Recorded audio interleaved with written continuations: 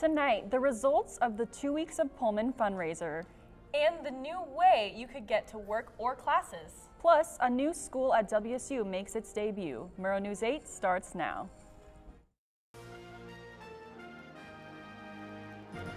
From Studio B on the campus of Washington State University, this is Pullman's only nightly newscast. This is Murrow News 8. Good evening, I'm Abby Tudor. And I'm Aijane Taylor. Welcome to Murrow News 8. To start tonight, we highlight the two weeks of Pullman fundraiser that came to an end with quite a bit of success. Patrick Gerardis joins us live on Glenn Terrell Mall with the results from local businesses. Patrick? The two weeks of Pullman fundraiser aided the nonprofit Cougar Health Fund while promoting mental health awareness and sexual assault prevention. The Cougar Health Fund saw success throughout the first week with just over $2,000 in donations. Several businesses in Pullman participated in this fundraiser, including the Paradise Creek Brewery, which made the most significant contribution of $400. Other businesses included the Pubs and Cups Cafe, College Hill Kook Store, and Rico's Pub. Each business donated between 3 to 7% of their sales to the Cougar Health Fund. This project followed a similar fundraiser titled 30 Days of Pullman, which took place two years ago. However, the current version saw much more success. ASWSU Director of Community Affairs Keegan Otter led the project and says it's difficult for students who live on campus to involve themselves throughout other areas of Pullman. Otter wanted this year's fundraiser to help motivate WSU students to get involved in areas off campus as well. Otter also hopes that this fundraiser could expand to Moscow to encourage collaboration between the two cities in future years. Reporting live from Glenn Terrell Mall, I'm Patrick Gerardis, Murrow News 8. Thanks, Patrick. Pullman residents can expect a property tax increase within the next year to accommodate bonds. One bond covers the funds for a new city hall and parks and recreation facility. The other funds parks and path upgrades. Voters approved both bonds last February. The average Pullman resident paid more than $3,000 in property taxes in 2018, and their bills could increase by at least $120. Whitman County Assessor Robin Jones expects a new calculation of taxes by mid-February. Another change you might see, buses on campus leaving their crimson and gray colors and going green. Pullman Transit applied for two grants to pay for three brand new fully electric buses by 2021. The Regional Mobility Grant would cover the costs for new infrastructure in the transit building to accommodate for charging stations and the increase in power needed to charge the buses. Due to the clean air legislation, Pullman Transit cannot afford the total cost of more diesel buses, but with the grant, they'll only need to cover 20% of the cost of an electric bus. An added benefit, electric buses also require less maintenance. The Phi Gamma Delta fraternity, also known as Fiji, completed a two-week supervised probation period following an incident early last month. Videos with fraternity members dressed up in grass skirts, singing and dancing circulated around the internet. Since the publishing of the video, the fraternity has made formal apologies to the Asian Pacific American Student Coalition as well as Asian American and Pacific Islander student organizations. The fraternity says they will continue to think of ways they can celebrate their philanthropy without appropriating culture. WSU opened up a brand new school back in July but Logan Plant went to the opening party to find out what makes this school unique. What do you get when you combine a DJ, a crowd of people, and cake? A party. But this isn't your conventional college kickback. It's the launch party and open house for WSU School of Languages, Cultures, and Race, which combines WSU's programs for comparative ethnic studies, foreign languages and cultures, humanities, and social sciences into one school. WSU opened the school on July 1st, but the party just happened so students could discover new opportunities and reflect on their time in the school so far. I've sat in on a lot of other language courses here at WSU. All of them create this really fun vibe that makes people want to say um, uh, these everyday sentences to each other. There's been ups and downs, but I would still call the Japanese faculty easily my favorite professors I have on campus. Students in foreign language classes get to learn phrases like Washington Shuritsu Daigaku de Nihongo no hanashikata o naraimashita. But they also get the opportunity to learn about study abroad programs.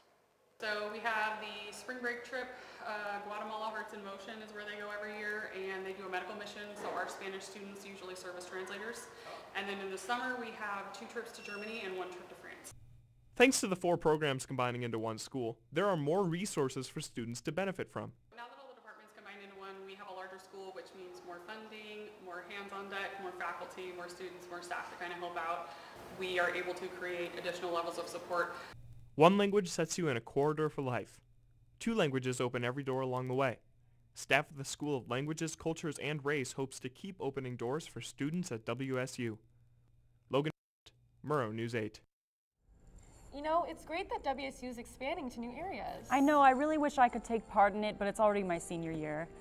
And when we come back, how people are honoring a fallen former Pullman track, track star.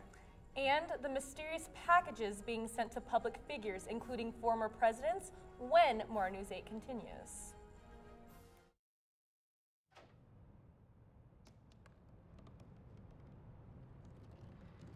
They said I couldn't dream. Called me a piece of trash and swore that's all I'd ever be.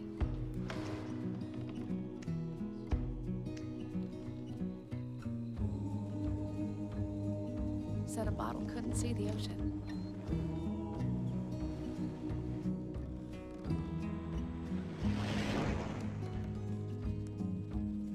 Give up. Go back to the dumpster. But I didn't listen. I made my way.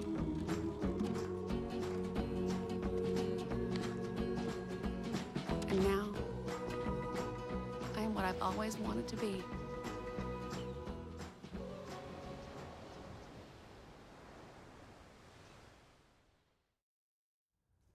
An unknown source sent live homemade explosive devices to former Presidents Barack Obama and Bill Clinton, as well as CNN offices in Manhattan. The Secret Service says they discovered the packages right away through routine mail screening procedures. None of the intended recipients got the packages, and law enforcement promptly removed the package from CNN's mailroom.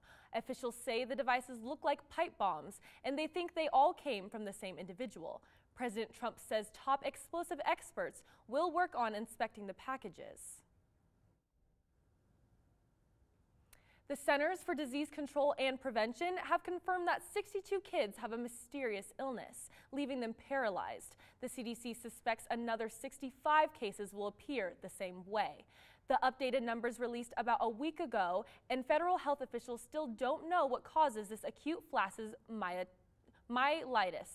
The confirmed polio-like cases spread across 22 undisclosed states. The CDC lists potential causes as viruses, genetic disorders, or environmental toxins. The CDC's website urges worried parents to help their kids practice hand washing and to apply insect repellent.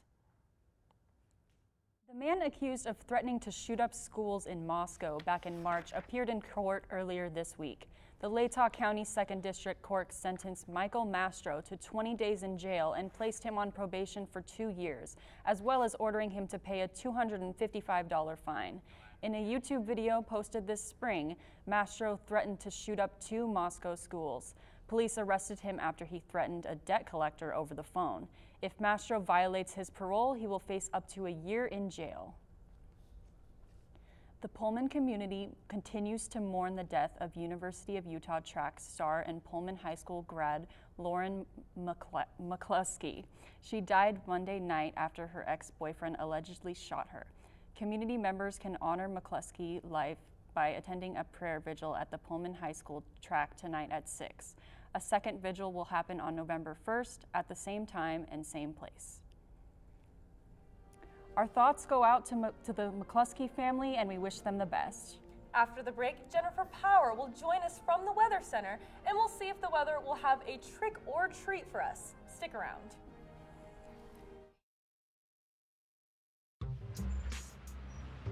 I'm one unlucky guy. The chance of being involved in a robbery is 1 in 757. The chances of being struck by lightning 1 in 750,000. Please fasten your seatbelts for unexpected turbulence. The chances of being a victim in an airline crash 1 in 29 million. Hey, could I get some peanuts? The chances of being involved in a car crash are far greater than lightning strikes and plane crashes. And if you are texting while driving, your risk of crash increases 23 times. Now, I may be an unlucky guy, but I don't have to be part of that statistic, and neither do you. Drive responsibly.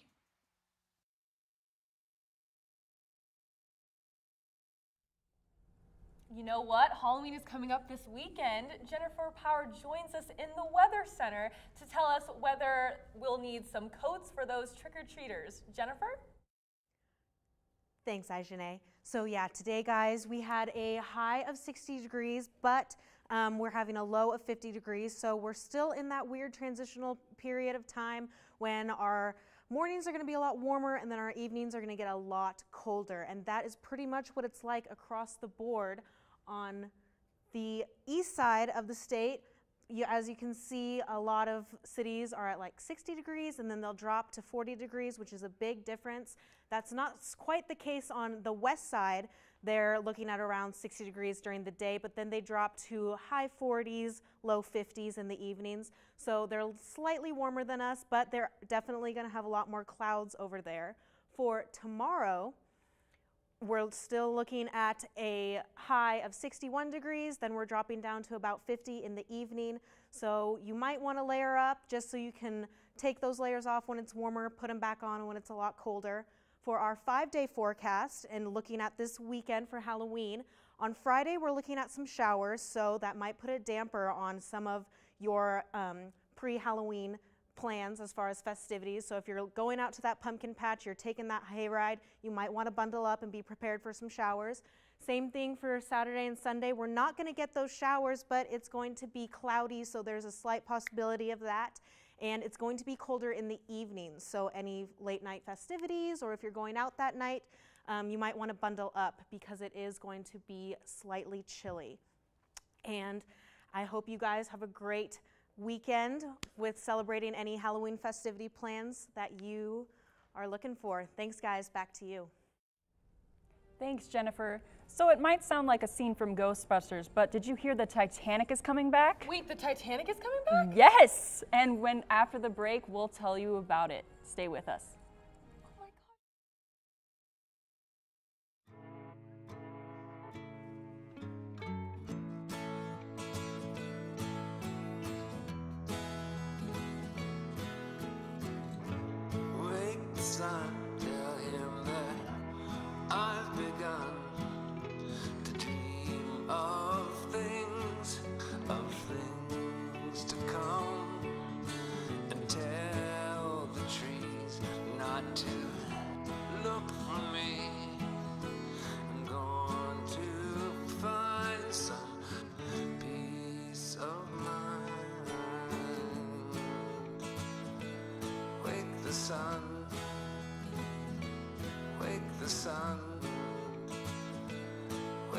Sun. Wake the sun.